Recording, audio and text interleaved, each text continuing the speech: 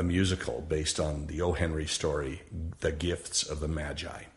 There's a character called Soapy, and Soapy is this bum who lives on the street. There's actually a scene where, where he, uh, he goes to a restaurant because he just wants to uh, snub them with the bill. And of course, he's dressed like a bum. But he actually acts as though he's an eccentric wealthy man, and these goofballs actually let him into the restaurant. And he eats everything they have to offer. What does he want? He just wants to get in jail for Christmas.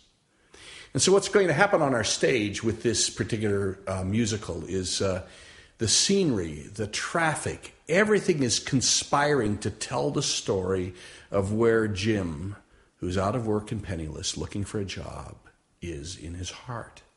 He just wants to buy a gift for his wife Della, and she's so beautiful and glorious that she uh, she deserves something better than what he has to offer. That's the same kind of thing that every person feels when they're trying really, really, really, really hard, but nothing seems to work out. And of course, the beauty of the story is that something does work out.